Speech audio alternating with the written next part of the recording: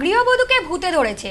এই অভিযোগে ওঝা ডেকে ঝাঁটার বাড়ি ও জল ভর্তি কলসে দাঁতে চেপে দৌড় করানোর অভিযোগ। অভিযুক্ত ওঝার বিরুদ্ধে থানায় অভিযোগ দায়ের। গৃহবধূকে ভূতে ধরেছে। এই অভিযোগে বাড়িতে ওঝা ডেকে গৃহবধূকে ঝাঁটাপেটা করালেন পরিবারের লোকেরা। ঘটনাটি ঘটেছে গাইঘাটা থানার জলেশ্বর এলাকায়। জানা গেছে, এলাকার এক গৃহবধূ বৃহস্পতিবার রাতে বিয়ে বাড়িতে যান।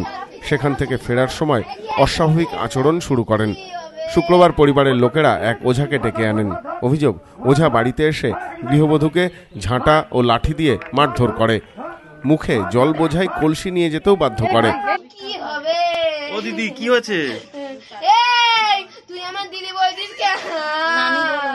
ও নানি? হ্যাঁ, নানি বলছে নানি।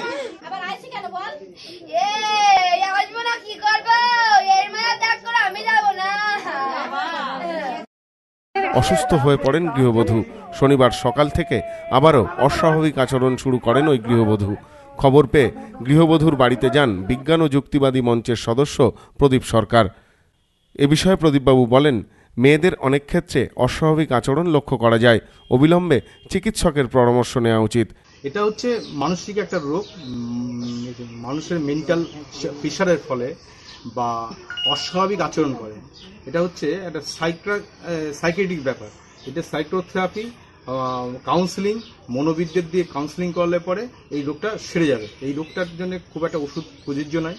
কালকে ওকে যে ওঝা অত্যাধিক অত্যাচার করে। আর অত্যাচারের খবর পেয়েই আমি এসেছি যে এটাকে অত্যাচার করলে পরে, মারধর দিলে পরে, ঝাঁটা দিয়ে পিটালে পরে, লাথি দিলে পরে, এক ঘটি জল নিয়ে, এক কলসি জল নিয়ে দৌড়ালে পরে, এই রোগটা সাময়িকভাবে ভয়তে ওর ঠিক হয়েছে আবার পরবর্তীতে আবার হবে।